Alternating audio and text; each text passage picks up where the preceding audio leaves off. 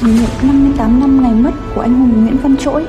Mình ừ, xin được gửi đến các bạn những hình ảnh về anh được khắc họa trong tác phẩm điện ảnh Nguyễn Văn Trỗi, sản xuất năm 1966 bởi nghệ sĩ nhân dân Bùi Đình Hạt.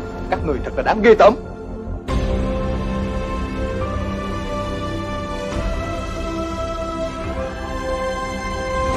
Theo luật 1059, tòa án dùng chứng cuộc khai tuyên án tử hình tội phạm Nguyễn Văn Trỗi. Tôi không có tội.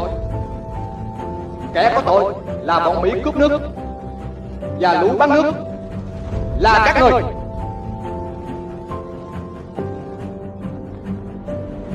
Giặc Mỹ đã xâm lược nước tôi.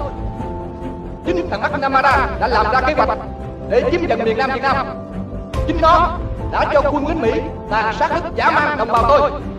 Chính nó đã cho máy bay trút bom đạn rải chất độc hóa học tàn phá làng xóm quê hương tôi. Tôi yêu quý vô cùng tổ quốc Việt Nam. Tôi chống Mỹ.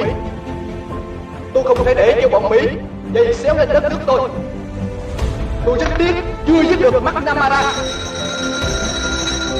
Chúng mày có thể giết tao, nhưng không thể giết được 14 triệu đồng bào miền Nam.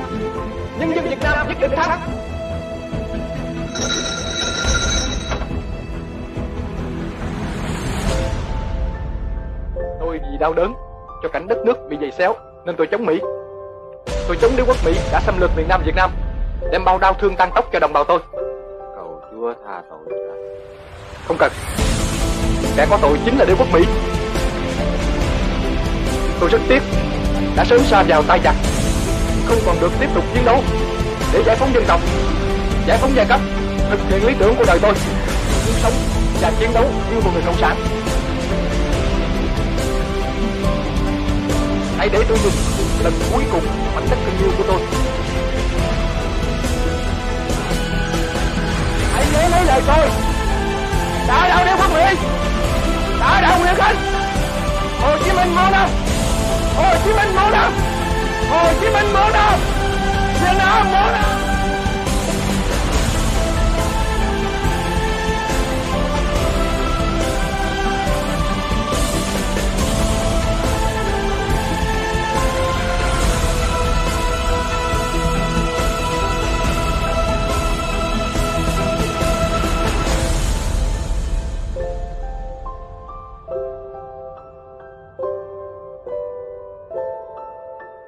あ!